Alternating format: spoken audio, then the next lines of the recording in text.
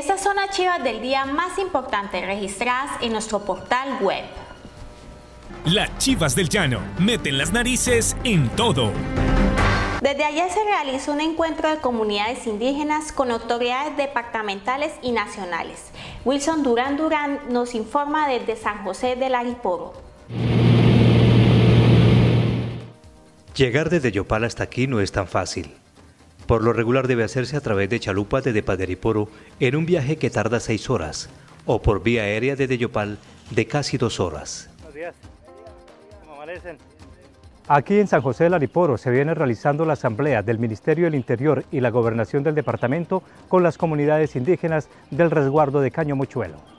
La problemática de la comunidad es grande. Necesita un buen centro de salud que reúna todas las condiciones dignas para la atención de sus pobladores.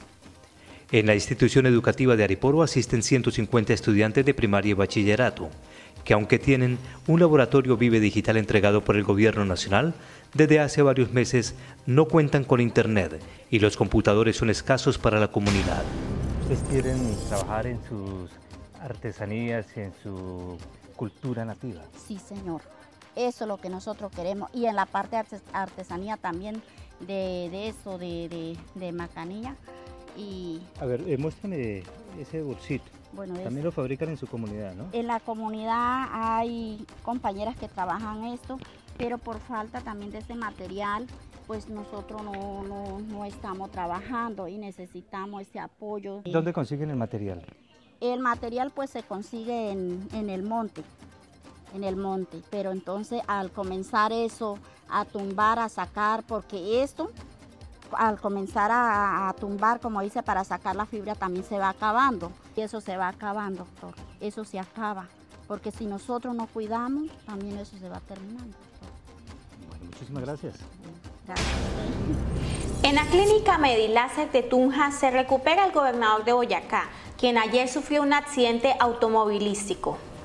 En la vía Tunja-Paipa, la caravana del gobernador Carlos Andrés Amaya chocó contra un bus de la empresa Los Libertadores que había sido atacado con piedras por manifestantes que se encontraban en la vía.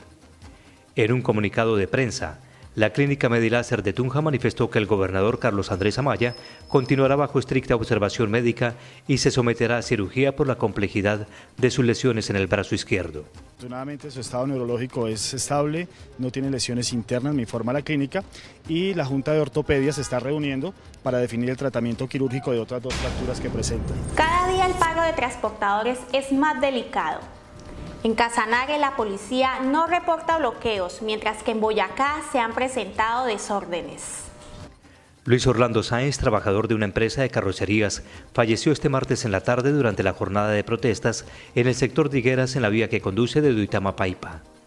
Hay dos posibles hipótesis sobre su muerte, una de ellas por una acción del ESMAD y la otra porque manipulaba artefactos explosivos.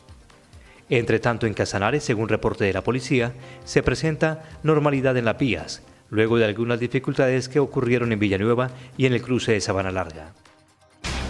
Pero nos hemos dado cuenta que estos no son hechos aislados, es decir, que aquí no se trata de unos espontáneos que están saliendo a las carreteras con sus camiones a bloquear las vías o a impedir el paso de los carros por las carreteras. Lo que nos hemos dado cuenta es que aquí hay una organización, es decir, que aquí hay unas personas, hay por lo menos seis personas que están organizando toda esta protesta, que ya no es una protesta pacífica y por lo tanto hemos abierto una investigación contra por lo menos seis personas que están queriendo, para decirlo coloquialmente, secuestrar al país. La ampliación de esta y otras noticias las encuentra en archivasdelllano.com. Síganos en Facebook y en Twitter. Las Chivas del Llano meten las narices en todo.